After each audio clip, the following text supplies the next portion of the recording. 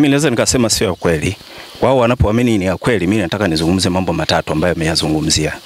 Kwanza, jambo la kwanza, kuita mikutano kwa muda mrefu, hilo jambo sio la kweli.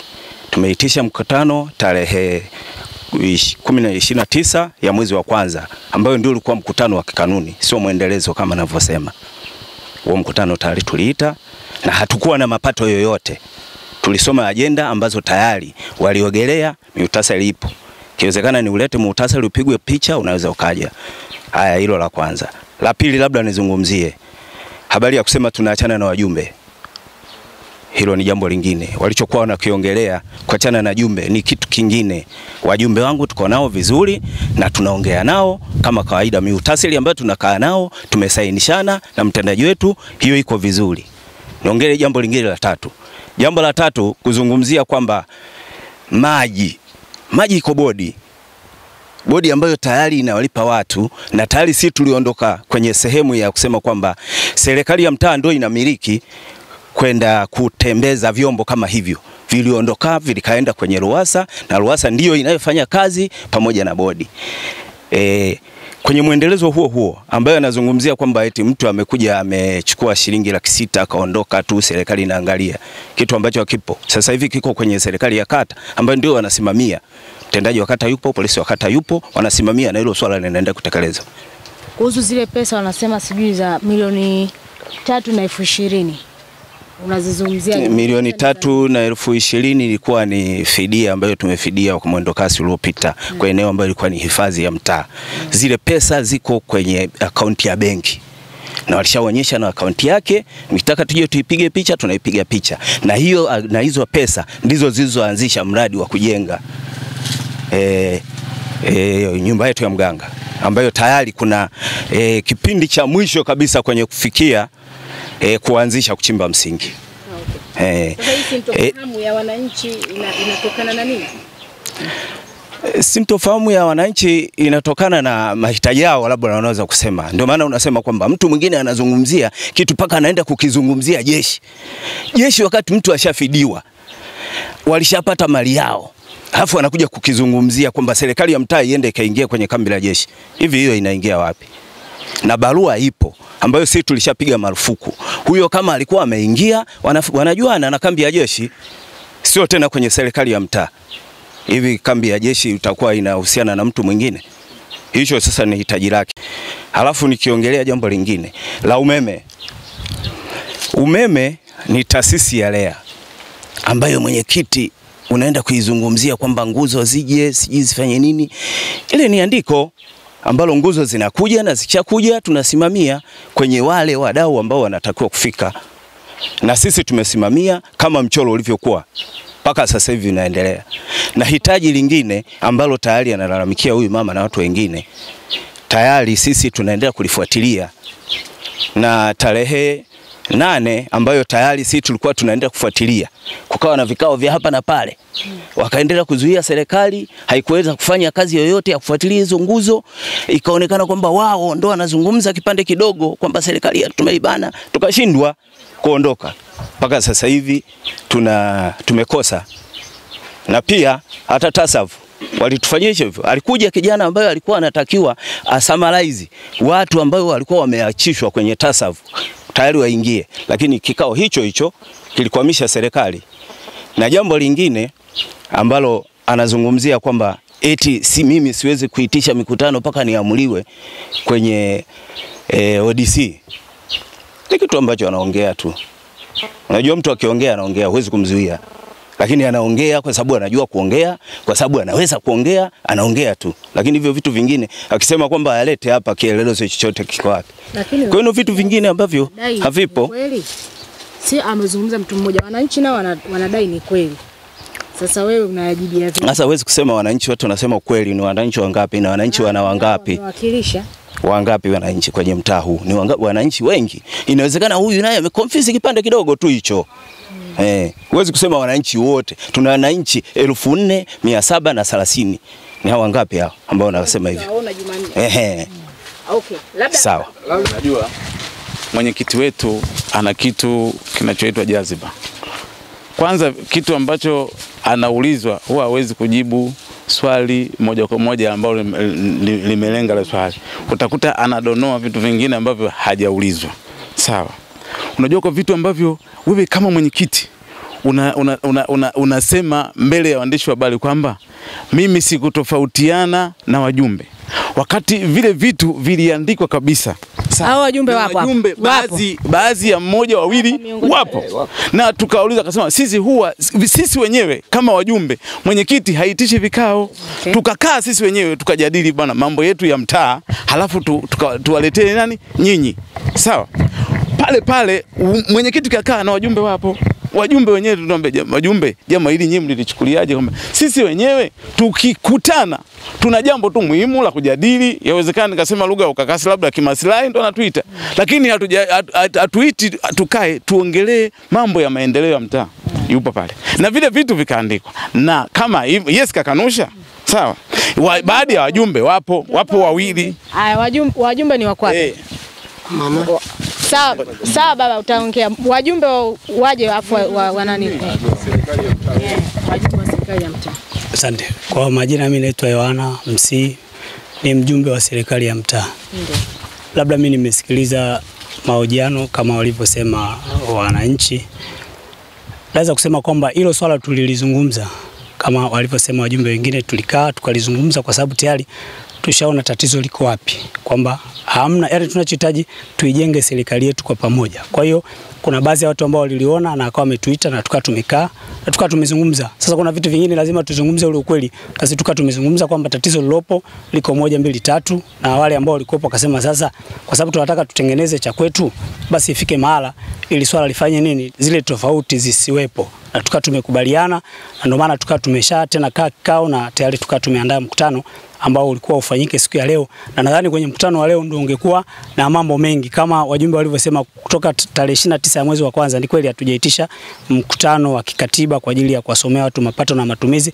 Nafikiri leo hayo mambo yote ndo yangeonekana na hata hayo mapato wanayozungumza na vitu vingine na vizu- vitu viko vingi ambavyo labda leo serikali tungeviweka wazi ili wananchi wakavifahamu. Asante. Taarifu jinsi ya kutaarifu, waga tunaandika barua, tuna wajumbe wa serikali, tuna wenye viti wa mashina, na pia huwaga tunapitisha tangazo la loudspeaker.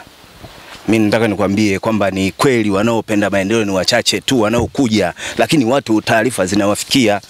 Sasa labda kwa, kwa, kwa uhakiki zaidi tayari hawa tuliopo hapa ni wajumbe ambao wanaweza kwenda kutangaza mkutano lakini pia tutabandika matangazo, tutaweka loudspeaker na tutaenda, lakini Jumanne mnakuja, mtaona sasa preparation itakayokuwepo. Watakuwa watu wangapi makadirio? Watu elfu nne mia saba na, na, na, na, na, na Unahakikisha yani hao watakuwepo. sio nahakikisha waliopo mm. na kama waliopo wote tutawapa taarifa. Sasa tuone watakaofika Okay. eh, kwamba taarifa zitafika. Sasa watu hao watafika kweli? Kwa sababu taarifa zitaenea kila wakati, kila sehemu. Tabandika matangazo, tutatoa loudspeaker, tutatangaza makanisani na tumetangaza maeneo mengi, na kila siku tunavyoendelea kutangaza, ila sasa watu wajitokezi, lakini tuhuma inarudi serikalini. Sawa, mimi tutakuja hiyo Jumanne, tutakuja tena, tunahakikisha hilo. Na nilikuwa na ombi labda hiyo siku ya mkutano au wajumbe wako wawepo, kama pia kuna uwezekano hata diwani pia angekuwepo kwenye mkutano. Diwani hakosi kwenye mkutano. hey, Mikutano eh, yote diwani ana mambo ya kujibu, Sindoma. kama unavyozungumza kama unavyozungumza mambo ya umeme mambo ya umeme anayeingia kwenye, kwenye vikao vya, vya baraza la madiwani ni nani? Si diwani ndio anayejua mipango yote hiyo na vitu vingine. Kwa mfano lea anaingia diwani, ndio anaweza kuwa analeta muundo wote huo na vitu vingine ambavyo diwani ana vitu vya kuvijibia vingi. Mara ya mwisho kukana kukana wa, wananchi wako pamoja na diwani ilikuwa Yaani akiwepo diwani. Akiwepo diwani, tulikaa kikao cha dharura cha mwezi wa tatu. Ni kweli? Ujue hapo mwandishi cha dharura. Eh. Eh, ndio ndio cha dharura, si na wananchi, Hicho cha mchanga. lakini si wananchi. Ajenda moja tu ni ya mchanga, haihusu jamii. Mchanga dharura taarifa. haipo jamii. Ile ni taarifa. ile ni taarifa ile. Taarifa tu kwamba madini mchanga yanachukuliwa, hakuna kuhoji. labda mwandishi habari nimalizie. Malizia kifungu. Eh, ndugu zangu wa Chololo, tulichokisema kwa hadhara hii, kama mtu kiongozi ambaye ukubali kukosolewa, Nyerere alishasema hufai. Sasa nawadhibitishia wananchi kwamba muhutasari wa wajumbe wake watano tulikuwa nao ndani, alikuwa anaamshwa kila mtu mmoja, simama Dani, simama, sema. Anasema sisi huwa hatukai vikao. Kaa wewe, hatukai wewe, hatukai wewe, hatukai, wote watano na Mutasa huko ndani. Walivyoitwa kwenye chama kata, wakaulizwa, walikuwepo wajumbe Je, yeah, yanayosema na, na, na kamati ya kule kwenye mtaa wenu ni kweli? Hebu simama useme wewe, kwa kweli huwa hatukai. Wewe kweli watu kai na kule wameandika. Sasa tusiwe tunajikomendi kwa vitu hivyo. kufanya kama kesi fulani, nafikiri nyinyi ndio mnaandika. Ah, mimi sinaeleza kero, Sehemu nyingine mimi naeleza hizi kero. Kwenye mkutano ulikuwa ni wakina nani ambao walikuwa wamekaa kwenye mkutano huu? Si mliitwa na kikao? Mliitwa na kikao wakati we ukai. Alikimbia, Alikimbia kwanza huyu eh, alikimbia huyu, eh, alikimbia kasusa, kakimbia eh, eti kuna Yanga mpira na eh, akaondoka. Yes, Haya, wajumbe wenzako walishazungumza kule kwamba na kikao kilifungwa, Why? kilifungwa. Achana na vitu kama hivyo. alikimbia mwenyekiti wetu Kabisa. tukaendea tukaendelea na wajumbe wengine waliovumilia maendeleo ya mtaa huu yataletwa na wananchi wenyewe. Speak the truth. Sawa kabisa. Sawa kabisa. Alikimbia eti kuna mpira wa Yanga na Simba, kwenda mpira ukaahirishwa.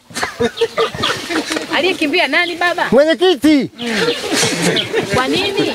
I don't know. Uh, mi kwa jina naitwa Venus Machemba Mwaruko, ni afisa mtendaji wa mtaa wa Chororo Mashariki. Naomba nizungumzie masuala mawili au matatu.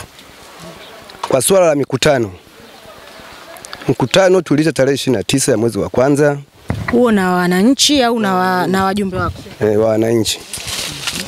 Haya, baada ya hapo vikao vya ndani vya serikali ya mtaa tunakaa na wajumbe kama kawaida, alafu mwezi wa nne tulitaka tuitishe tena mkutano, kwa sababu sisi zamani tulikuwa tumezoea miezi mitatu mkutano, lakini sasa hivi imerudi miezi miwili.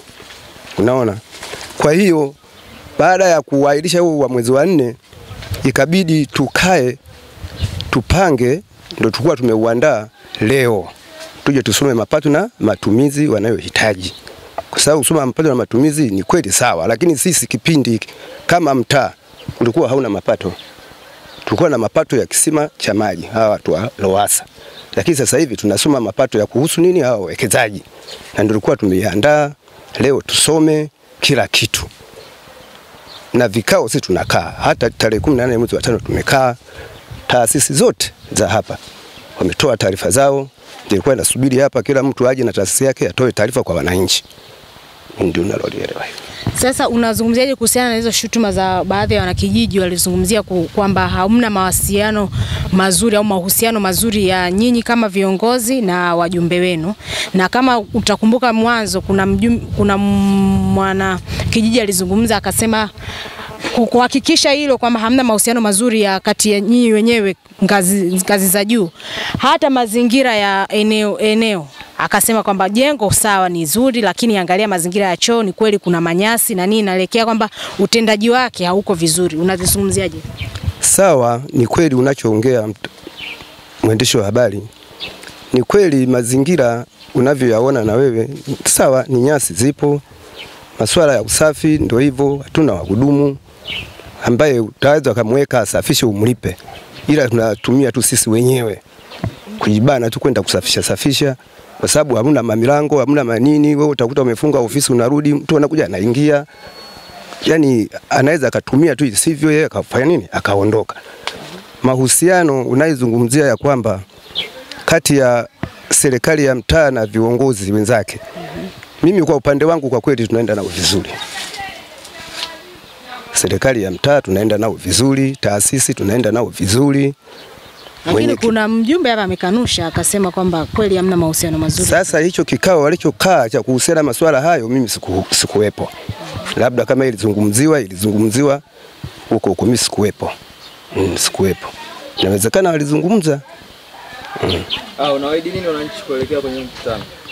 E, nawaahidi tu ya kwamba Jumanne ndo tumeuandaa wahudhurie, waje wapate taarifa za mapato na matumizi. Basi kama kutakuwa na mingine tutayarekebisha pale pale.